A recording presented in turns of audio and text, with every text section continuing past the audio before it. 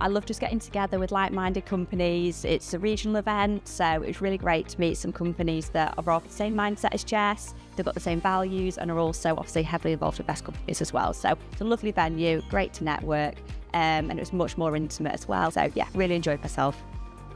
Coming here today has definitely given me some tools to take away. I really enjoyed the organizational clarity they showed us, and that's something that I'm going to go back and probably communicate with the wider stakeholders within the business. Would I come to another event? 100%. 100%, a million percent. So yes, please invite me.